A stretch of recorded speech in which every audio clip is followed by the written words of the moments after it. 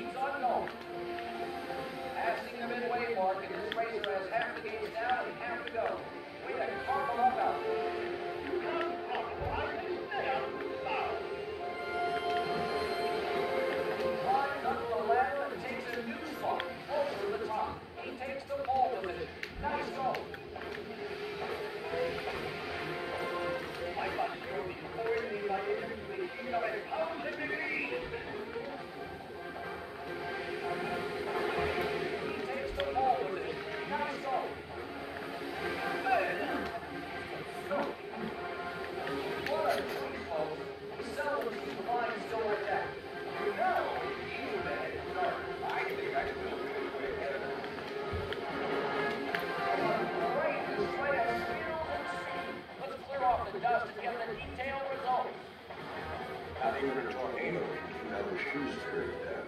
except for El